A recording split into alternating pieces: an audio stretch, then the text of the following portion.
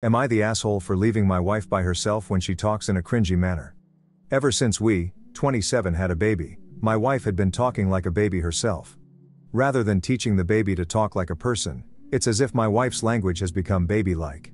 She would make noises in between conversations like, Bodhi Bodhi Choop, and Awawa Fwatata, even when talking with adults. This is especially embarrassing when I am with her in public places, when she talks like that to complete strangers. I have been telling nicely to her to not do that, but she would just laugh it off, totally oblivious to how people around us stare whenever she talk like a baby. I have to point out that she is not in the spectrum, just a crazy new mom, in fact too crazy sometimes. It was a day off for us when we have my parents babysitting the baby and we finally have some time by ourselves. We went out for dinner and she done it again, talking to the waiter, something like this. Yippee thanks ya ha ha ha, oh yo ya ya by the way, can you give us an extra plate for this? Seeing how the waiter staring at her as if she is some kind of mentality challenged. I rolled my eyes and told her, I am taking a break today and don't need another baby who cannot even talk properly to look after. Please excuse me.